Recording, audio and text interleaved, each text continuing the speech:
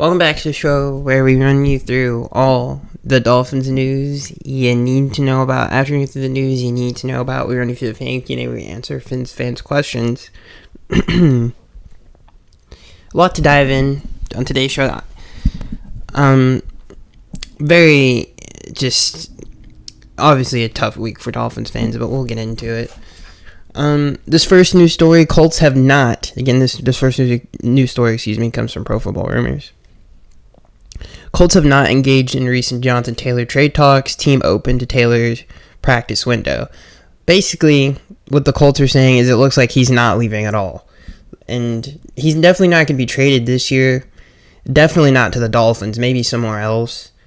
But that trade is dead, especially with the emer- I mean, I don't even have to tell you guys. De'Von Achane's playing one of the one of the best starts to a Dolphins career of all time. So clearly, he's not. They're not going to waste and there would be no reason to, especially with Raheem Mostert, who's playing really good football as well. In the passing game and in the running game, Raheem Mostert's playing good football. So this trade's dead. We will talk about some other trade rumors though, um, uh, later in the show as the dogs bark. This next news story comes from Pro Football Rumors. Dolphins left tackle Terron Armstead to miss time. Um, obviously dealing with a knee injury. Uh, Mike McDaniel said, "quote It's weeks, not days." He's already ruled out against the Giants. He he was hurt uh, in the game. It's always against Buffalo. I swear to God. Even last year, we dealt with some significant injuries right before we played the Bills. This year, it's Connor Williams, Terron Armstead, and Jaelan Phillips. Um, last year, it was obviously Tua was the biggest one, especially in the playoffs. And uh, I don't know what it is about the Bills, but you know, and, I, and we don't even have to get into the whole rigmarole of Buffalo and everything. I've never it almost like it was very strange the reaction to the loss against the Bills. I think it was one of the most overreactive, and it's still going on um, that I've ever seen in my life. Especially since it's one game it's like we still have to play them again at the end of the year. It's just really strange.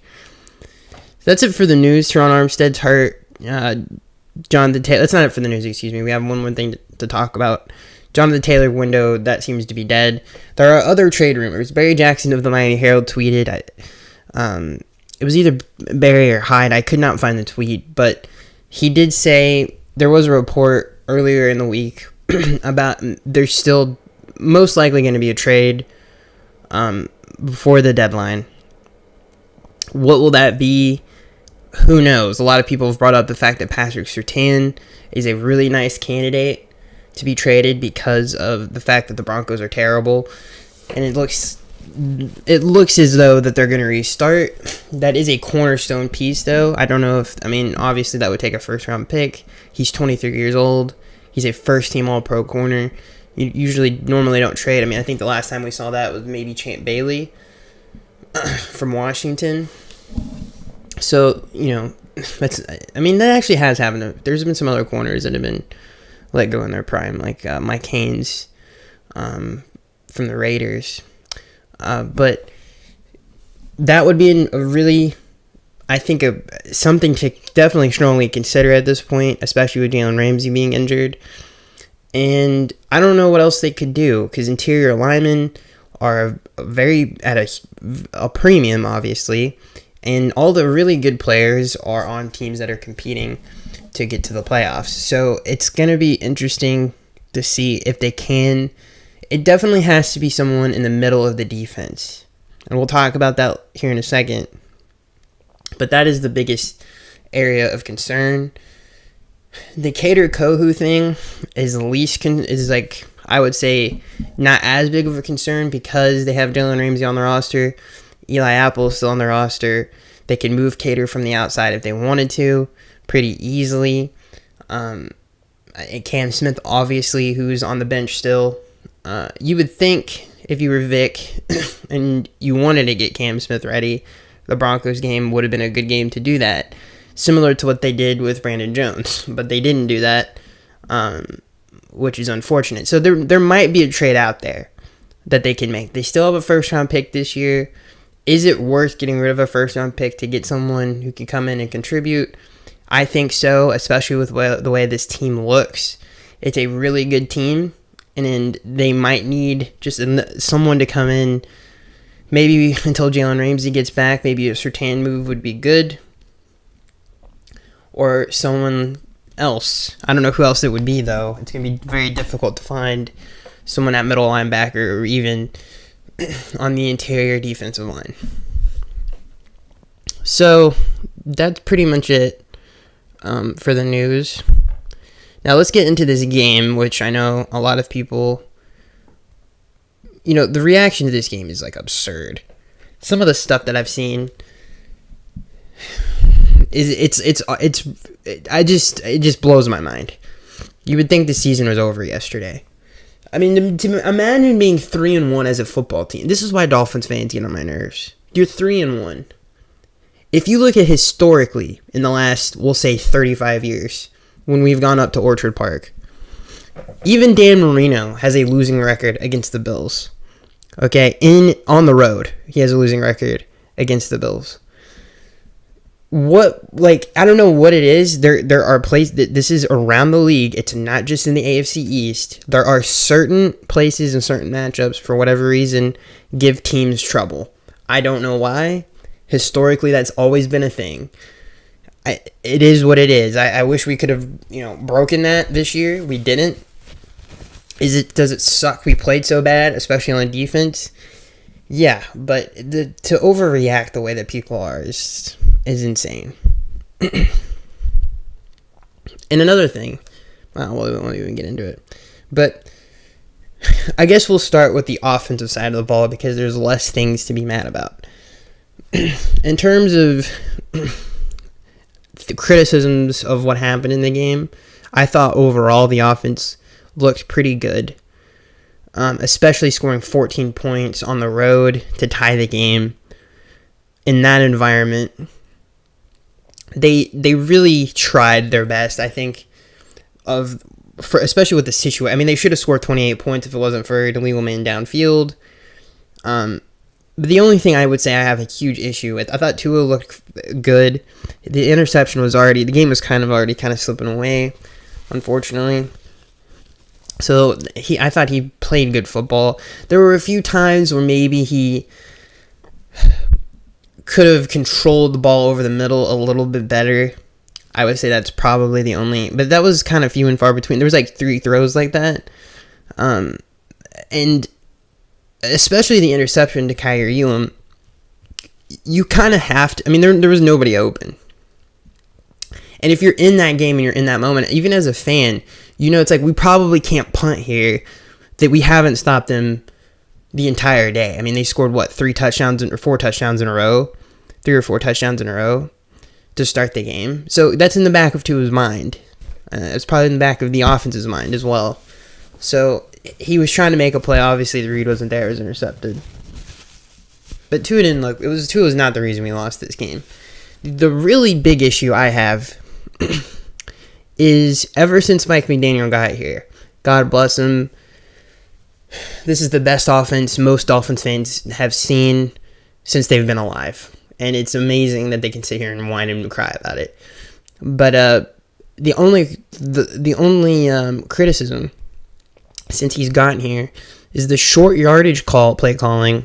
he overthinks it.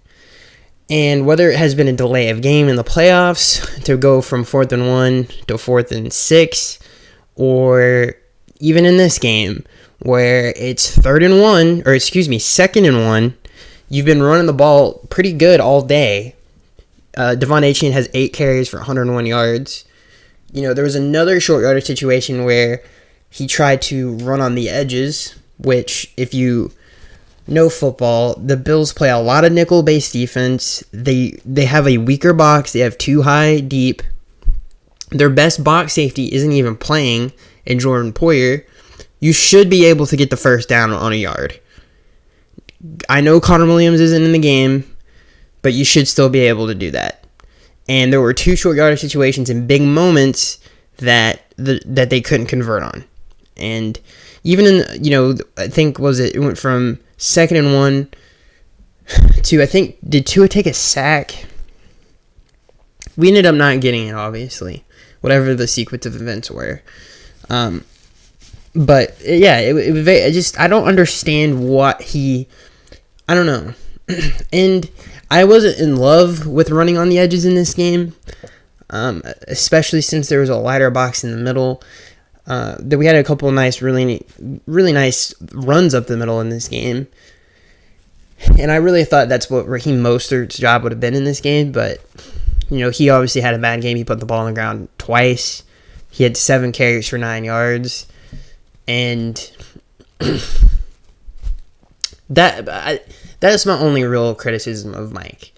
Is like, I think, you know, those those things are just. It seems to be um, just to overthink it. And another thing I want to say, and this is something that hopefully moving forward doesn't continue to happen. Um, but Jason Sanders, the faith in Jason Sanders to kick a 50 yard field goal, especially with the offense that we have, it's the risk is not worth it. Um, we got to be able, like, if it's fourth and four, we're on plus territory, that shouldn't be a field goal. That should be the Dolphins' offense still, if you want to kick three there at this point, I think I have more faith in us converting a fourth down than I do Jason Sanders kicking a 50 yard field goal.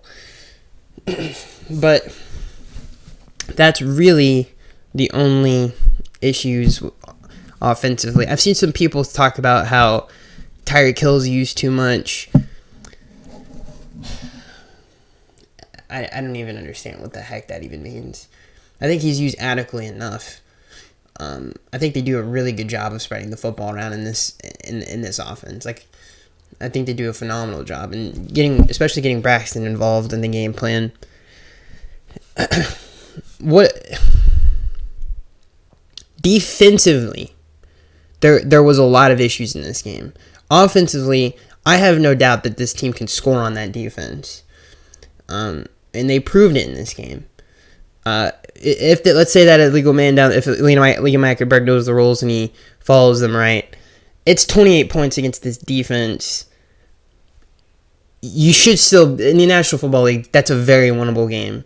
They can easily they can score on them, so that's not a problem. Which brings us to the defensive side of the ball. When looking at this, the running stats from the bill, they had 12 carries. I mean, you would think they, they would have had a lot more than they did but they didn't. They have, I mean, James Cook averaged two yards a carry in this game, and Latavius Murray averaged eight, but he only had four carries. Um, and those were later in the game. He only had 32 yards rushing, by the way. It, I, when I when I saw that that was that it shocked me. One thing I want to point out, and immediately after the game, it bummed me out when I thought about it what is the reason why we brought Vic Fangio here? Think about this. What were the games that we really hated Josh Boyer the most? Is when we played the Chargers and the Bills and the Niners. Those are the games where Josh Boyer's deficiencies really shined. Those were the games where uh, we needed a good game plan defensively to stop the, the, some of the best players in the AFC when you look at the scores of the New England game and some of the lower competition games, Josh's did pretty good. It, you look at the game against the Jets on at home with a third string quarterback. That was a good game plan. Sorry, guys, I didn't mean to blow up my nose. Um, you cut to this year, we bring Vic Fangio, one of the better defensive coordinators of his time. You would think that would improve, um, and it didn't so far this year. Against the Chargers, we let up a ton of points, and then against this game uh, on the road in Buffalo, we actually let up more points. And Stefon Diggs had probably the best game of his career against us in this game, which is very disappointing. Like very, very disappointing because these are the games. These are and this is these are the reasons we brought Vic here. I'm hopefully this gets better. Um, but it just it's like where is the creativity of the defense? Where is the game plan specific stuff because it seems to me that we run the same dang defense week in and week out. I don't know if he's trying to keep it simple because of the fact that this is the first year in the system. I'm not really sure, but I want to start here. I want to start with the play calling aspect of the defense. We already discussed how it's, you know, annoying enough that this hasn't improved, and you would think with Vic we would have gotten better and at least done a better job against Buffalo. But the other aspect of it is that, especially when you're down on the road and you need to play, it like when it was 14 14, or maybe even when, even when it was 21 14, you got to stop playing this like soft zone and hope that the offense messes up. Clearly, they're not messing up. Um, clearly, they're, you know, especially with the crowd, you got to mix it up and get more aggressive in that situation. Um, and it was kind of annoying to watch, not really kind of being content with what we were doing that wasn't working. so you would, I just would liked to have seen some type of a change. I mean, we're already getting gashed anyway. A lot of people are already making a huge deal out of the fact that Kader Kohou was on Diggs the entire time with seemingly no help, which was the I think the biggest weirdest thing. You know, the whole Bill Belichick cliche is okay, we'll double the number one receiver and then we'll leave our best corner on their second best receiver on an island. Seemed like that that was the kind of the thing to, to do in this game, but we didn't double team Stefon Diggs. And I don't know if that was because Brandon Jones, who had the worst game of his career, clearly wasn't ready uh, to go out there. He looked awful. In the run game, he was missing tackles on, on pretty much every play. And in the pass game, he was way a step too slow. I mean, even on the Gabe Davis, the Gabe Davis touchdown, that was his responsibility, and he couldn't get over there in time. The the play where um, Stefon Diggs breaks all those tackles, goes down the sideline for a touchdown. Brandon Jones has to make that play. If Kader Kohou misses the tackle, fine. But you, as the safety, who are who isn't even involved in the play as it's happening have to come up and clean that play up. That's your job. He couldn't even do that. So he looked awful the entire time. Know, it honestly broke my heart because you know I love Brandon Jones. I think he's a great player, but you know it raises even more questions. Why wasn't Jevon Holland on that side? Why wasn't he shaded over to Diggs' side? Um, it didn't make a whole lot of sense, and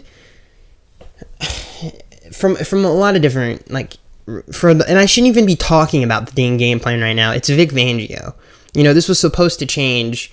I, it, that's what's so frustrating about it is like, what the heck happened, man? You know what I mean? At this point, we should we have just like it's like what's the difference between that and Josh Boyer? Now, hopefully, this gets better. I I, I hope it gets better, but defensively, from the game plan and the play calling, uh, weren't I'm fine with it at the beginning of the game, but as the game went on, like it's like we have to try to grab some kind of momentum. and another thing is in defensive Vic Fangio, I think the secondary assignment stuff was like the worst part. Not necessarily yeah, he should have changed the way coverage wise and front front wise, he should have changed it as the game went on but they weren't executing it very well. We just talked about Brandon Jones playing terrible. And the middle of the defense is, especially at the middle linebacker position, is an issue. like, and especially in coverage, they're too slow to play in this defense. They react too slow. It seems like they're thinking a lot. It's just too slow in the middle and the Bills really exploited that, especially with their tight ends in the middle of the field. Um, and that has not just been against Buffalo. That has been in every game so far. It seems like, and Jerome Baker is having the worst start to a season that he's ever had. Um, he's thinking way too much. He's.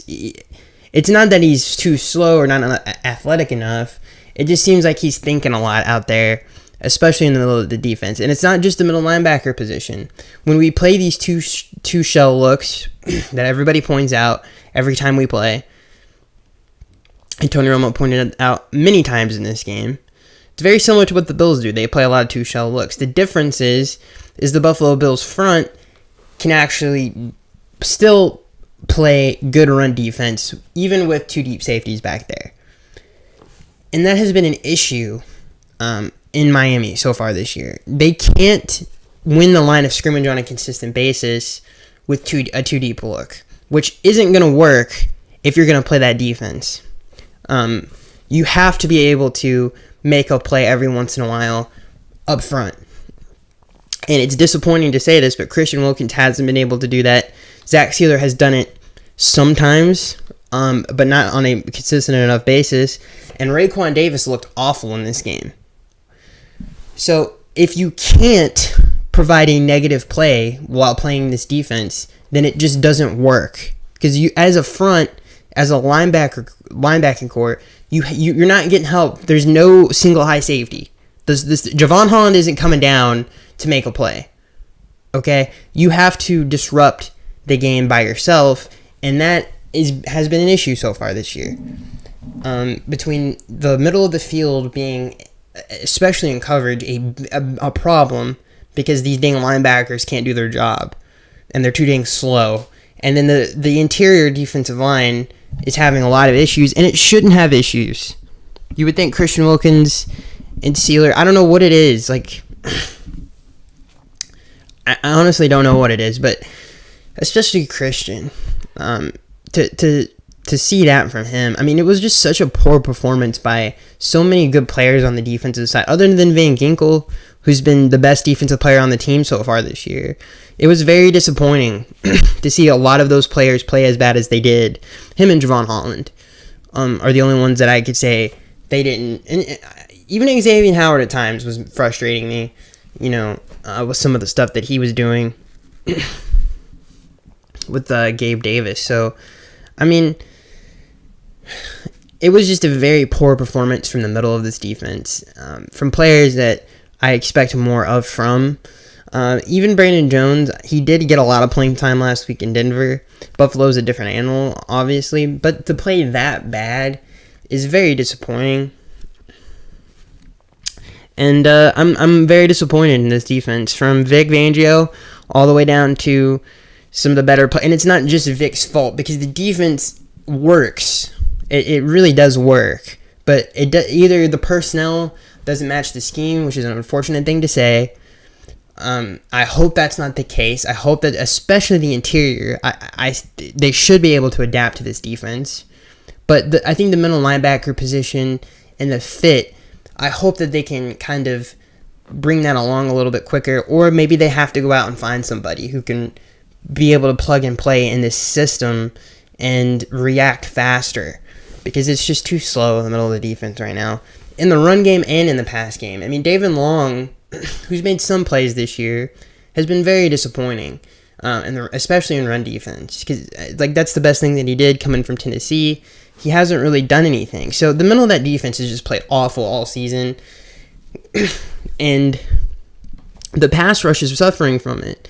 They, I mean, the the Bills. Ba- I mean, when they were in third and long, we actually did rush the passer at a pretty decent clip, but they just were they were never in, in negative situations the entire time, and like, and the the entire point of this defense is the offense. We're gonna we're gonna hit you in the backfield. We're gonna hit you for a no gain, and then it's really gonna be hard for you to convert against the stuff that we do on the back end and they haven't been able to do that f- almost the entire season.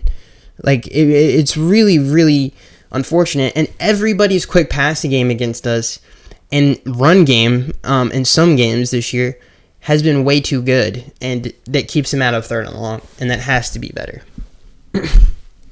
this game in spe- specifically, I think what Vic is calling and what Vic is trying to do should work, but the players aren't doing it the right way. I think he definitely should have changed it up and in this game um, to help them out uh, because it wasn't working and he should have like okay clearly we can't do what we wanted to do today. We gotta we gotta switch it up. That never happened. Like even at halftime that didn't happen so that ha- that can't happen again um, but even with the whole Kader Kohou thing, that was ridiculous. But they have to execute this, this stuff. I mean, this was like an all-time bad performance from a lot of players on this team uh, defensively. So I know that they can play better. I hope the middle, especially the middle linebacker position, I hope that can get better. That's the only thing that is concerning me. Is like they've they've played really bad. That has to be better. Um, disappointing, very disappointing defensive performance. Uh, very disappointing. Um, I wish I was there to yell at him. I was thinking that the entire time. I'm like, bro, does someone have to get in the hot? I mean, you know how embarrassing that was. I can't imagine like this is a game. This is on the road against Buffalo. This is a team that this is the team we have to beat to go to where we want to be, and to play like that defensively was really sad. Um, would have J- would Jalen Ramsey have fixed the issues in this game to a certain extent? He would have, but defensively, if this team wants to be the defense that they want to be, they have to create more chaos and two deep looks on their front seven. And if they can't do that, then they're going to have to figure out a completely different way of playing defense. And that maybe that's what Vic has to do. He maybe he has to go back to the drawing board um, unless they make a trade that because it doesn't it's like how are they going to get any better if it just doesn't it, they're not creating negative plays, they're not playing fast. I don't know how that gets better unless they either change stuff schematically or they go get someone else to do it. But one thing I knew for sure has to be better is the interior defensive linemen have to play better. They have the talent to do it. They, there's no reason for them not to play better, especially after th- th- this last week. Um, I could talk about that all. It was a it was like a very it was a disgustingly bad performance by them, um, and they should be ashamed of themselves. Going back to Miami playing like that, it means Zach Sieler just got paid. Christian Wilkins wants a contract extension, and you go out there and play like that. It's, it's, it's ridiculous.